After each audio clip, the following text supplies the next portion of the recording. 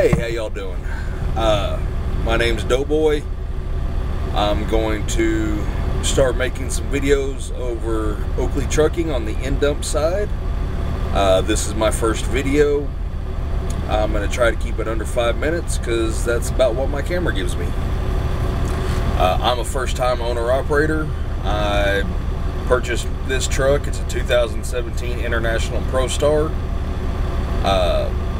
I purchased it to come to work for Oakley. Uh, they were great on helping me get everything situated. Once I found the truck, uh, the ladies in the office helped me get all the title work done and get all my permits and all that stuff. Uh, so far, everything that the recruiters have told me before coming to work here has been exactly on point. Uh, I live in the Texas Panhandle. I get home about every two weeks. I'm fixing to move to Tennessee, and whenever I do, they said they can get me home every week. We'll see on that point. Uh, my dispatcher Ryan, uh, he's been doing real good on keeping me moving. I'm usually loading one day, unloading the next, and then getting reloaded that afternoon. Uh, it's been real some really good miles. Uh, paychecks have been really good. Um, if y'all want to know more y'all can contact me at my on my email.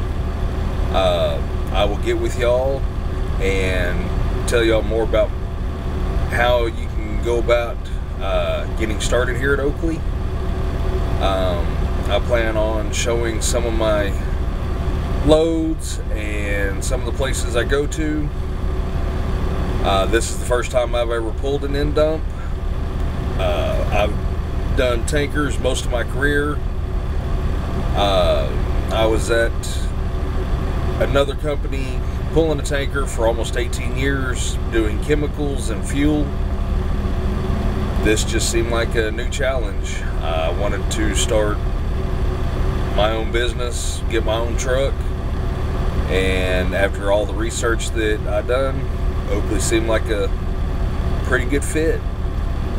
I hope y'all start watching these videos and enjoy them. I will try to keep some of the content, or all the content as good as I can. Uh, I'm just starting out on this. I don't know a whole lot about it, but you know, we'll get there together. Hopefully y'all enjoy it. Uh, sometimes y'all will even catch my bulldog right now. He's back there on the bed just asleeping.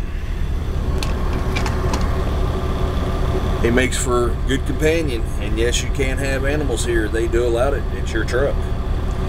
Uh, some of the customers that we go to don't allow animals in, but as long as you let your dispatcher know ahead of time, he will keep you away, or she, we do have a female dispatcher on the pneumatic side, but they'll keep you away from those customers.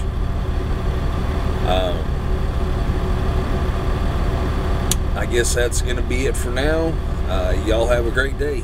Thanks for watching.